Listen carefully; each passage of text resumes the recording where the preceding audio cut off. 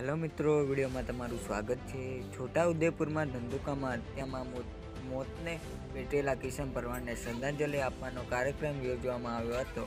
આ દરમિયાન જૂથ અથડામણીની ઘટના બની હતી. કિશન પરમારને શ્રદ્ધાંજલિ અને રામધૂન કાર્યક્રમ દરમિયાન આ જૂથ અથડામણીની ઘટના બની હતી. હવે પોલીસ સ્ટેશનમાં બંને પક્ષોએ સામા સામે ફરિયાદ નોંધાવી છે. પોલીસે છ. લોકોની અટકાયત કરી ધંધુકામાં કિશન ભરવાડ નામના યુવકની હત્યા બાદ ગુજરાતમાં લોકો તેને શ્રદ્ધાંજલિ આપી રહ્યા છે.